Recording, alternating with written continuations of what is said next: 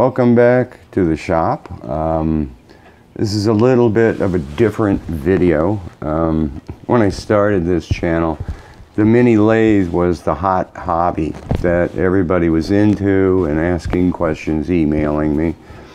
Nowadays, it's um, the 3018 CNC and upgrading it to a laser. So I did a video on the 3018. I think it was a three-part series wiring and software and so on. And then I did another video on the laser upgrade and how to do that. Uh, as a result, I've, I've done hundreds of emails here helping people get their laser up and running. Um, and it's pretty difficult because you're going back and forth in the emails, trying to figure out what's going on. The last one, the guy finally gave me a hint in the email he had the classic problem of the laser comes on full power and you can't turn it off. He was describing it differently though, so.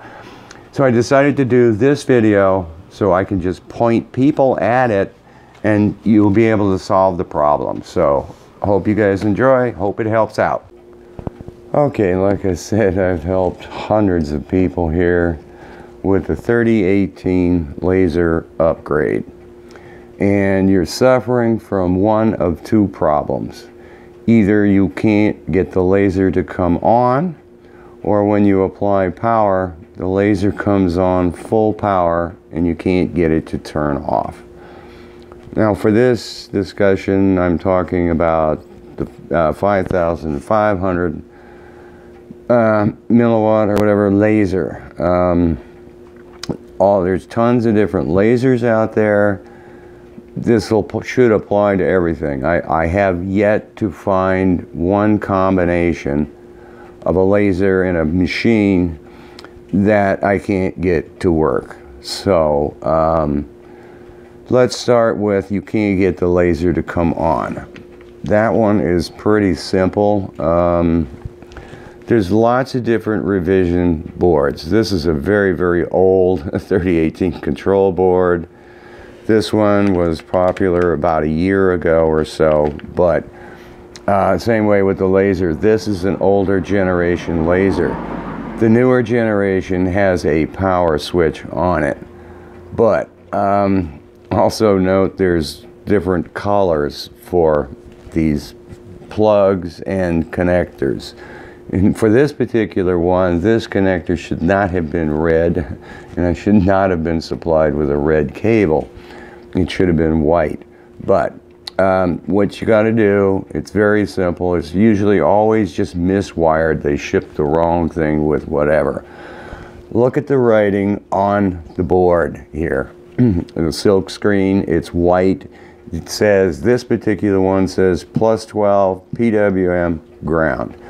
I always see the ground and PWM switched. So look at the silk screen here color codes can be anything. Typically, red is power, black is ground, white is the PWM signal. Look at your board. Uh, this particular board, same thing. Ground, PWM plus 12. Make sure the signals hit the right pins. It's always been two are switched.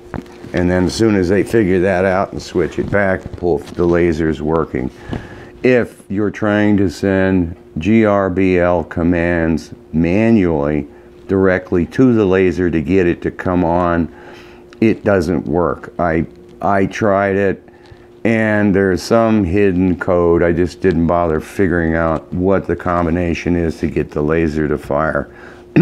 this is why I say go get the trial version of Lightburn set it up per my video, um, hit the fire button, 40% power, it will come on. Um, so that's probably all I can say about that. Um, previous generation, the newer generation board I have on my machine, I'm not going to take it off, but there's two plugs for the laser. One's red and one's white. So now that's all there is to the situation where you can't get it to come on. The other situation is you hit the power button and boom, the laser's on full power. Um, I've never seen that with the older generations. It's just the newer generation. So to solve that problem, why is it coming on full strength? It's, um, like I said, lots of different control boards. There's Cam Tool, Woodpecker, ton of different revisions out there. Let me move this further out of the way. So, yeah, there's one, here's the other. This is the woodpecker schematic of the whole thing. I've zoomed in on the driver circuit here, which I'll show in a minute. This is the cam tool schematic, and I zoomed in on the driver circuit down here.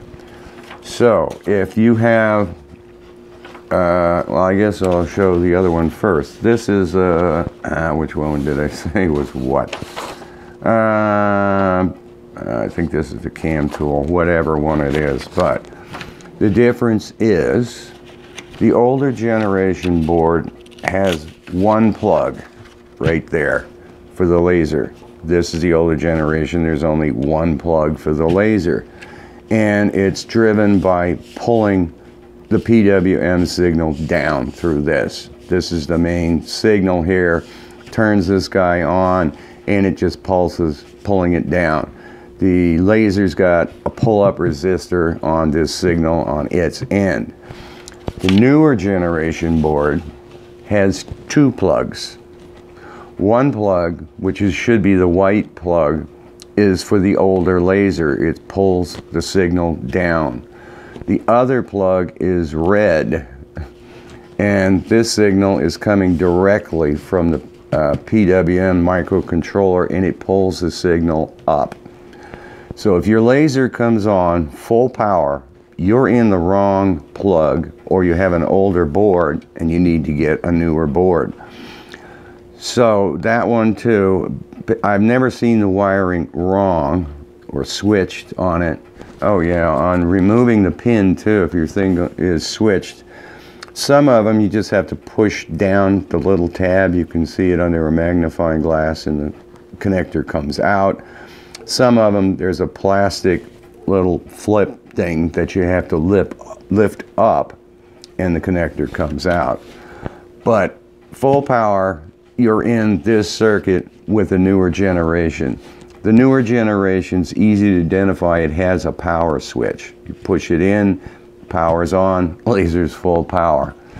Um, so as soon as you switch it to the other plug, it will work suddenly. Um, or you have to go on eBay, Amazon, somebody, find a board which has got the two uh, plugs for the laser because one of them is, is going to be for your new generation laser.